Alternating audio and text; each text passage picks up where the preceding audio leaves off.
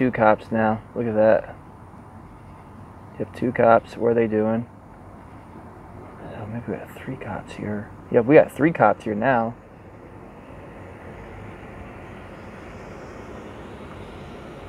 Oh, what are they doing? One, two, three, maybe four.